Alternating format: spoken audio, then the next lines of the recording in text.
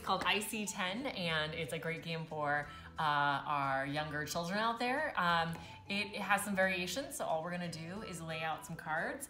Uh, it might be face up, it might be face down, depending on their age level. Uh, and what they're gonna look for is a match where all of the cards add up to 10. Two cards. T- two cards. Because are they adding two cards or are they adding multiple? You can make that another option. Ooh, nice. Yeah, and so uh, we'll lay them out. I'm gonna put down 12 face up for this version. Uh, and then as some of those matches are being taken away, then I'll replace with my stockpile here uh, any holes that are on the board until we get to the end. Let's go for it.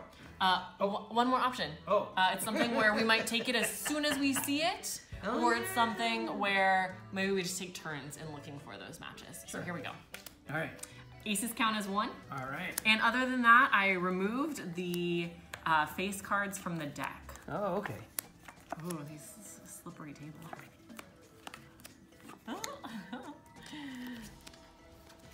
All right, do we want to do uh, turns? Let's take turns. Okay. Your You- turn. Oh, okay. Uh, I see 10. What? Nice.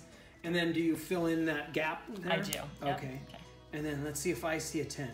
Well, I I do see a 10. I see actually they're right next door neighbors, but they don't have to be next door neighbors, but my 8 and 2 makes a Good. 10.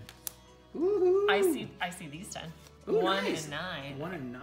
So now I have two. Okay, go. Nice. Well, I see Ooh, I see a 6 and a 4 makes 10. There we go. It's my turn, huh? Yep. Seven and three. Nice.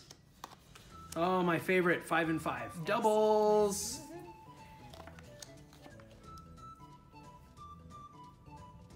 Six and four. Woohoo! And that's basically how we play the game.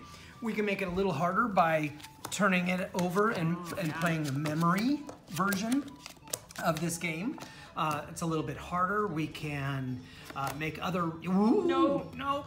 And then you flip it back over. Uh, we can turn it instead of taking turns. It could be about a speed game and just grabbing.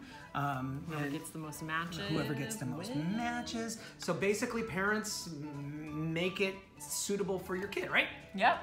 All right. Uh, another fun game to enjoy with your families. Uh, have a have a great day and enjoy some recreational math.